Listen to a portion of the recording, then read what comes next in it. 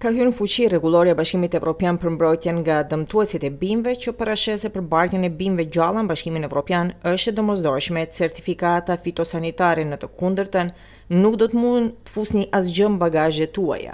Shërbimi doganor hungarez ka paralajmëruar udhëtarët që nga sot në kufi do të kontrollojnë bartjen e bimëve, pemëve dhe perimeve, luleve, fidaneve dhe farave që hyjnë në Hungari.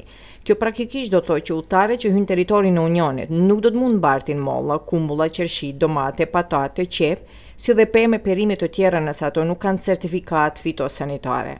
Në listën e pemëve që edhe më tej mund të hyjnë në Bashkimin Evropian janë bananet, ananasi, arrori, duri dhe hurmet, raporton rts. Pemët dhe perimet e thata, të ruajtura dhe të përpunuara lejohet edhe më tej që të hyjnë në Bashkimin Evropian. Sipas Agjencisë Kombëtare Hungareze të Sigurisë së Ushqimit, këto rregullore duhet të mbrojnë bujqit e vendeve të Bashkimit Evropian nga dëmtuesit e bimëve.